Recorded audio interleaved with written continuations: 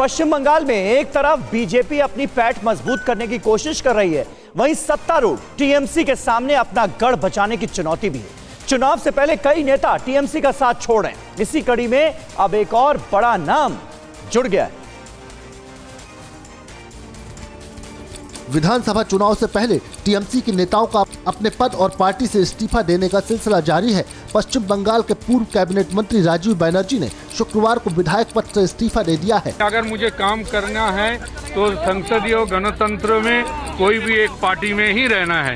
तो मुझे, अभी जहाँ मुझे सम्मान मिलेंगे, जहाँ मुझे काम करने का मौका दिया जाएगा आई विल चूज़ दैट राज्य सरकार में वन मंत्री रहे राजीव बनर्जी ने विधायक पद से इस्तीफा देने के कुछ घंटों बाद ही टीएमसी को भी अलविदा कह दिया। उन्होंने पार्टी से अपना इस्तीफा सीएम ममता बनर्जी को भेज दिया है।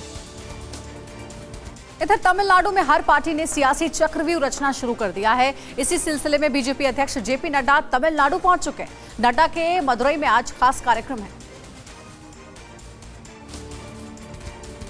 तमिलनाडु में सियासी विसाद बिछ चुकी है। इसी विसाद पर बीजेपी ने अपने मोहरे सजाने शुरू कर दिए हैं। बीजेपी अध्यक्ष जेपी नड्डा तमिलनाडु की दो दिवसीय यात्रा पर हैं। 29 जनवरी की शाम जेपी नड्डा तमिलनाडु पहुँच चुके हैं। आज मदुरई में जेपी नड्डा पब्लिक रैली को संबोधित करेंगे। अपने दौरे के दौरान जेपी नड्डा मदुरई के प्रसिद्ध मीनाक्षी मंदिर में प्रार्थना भी करेंगे।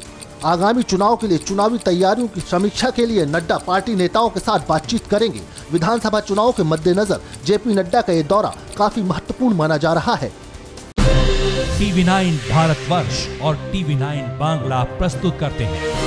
पश्चिम बंगाल चुनाव पर सबसे बड़ा conclave. What Bengal thinks today. देखिए 30 जनवरी दिन भर।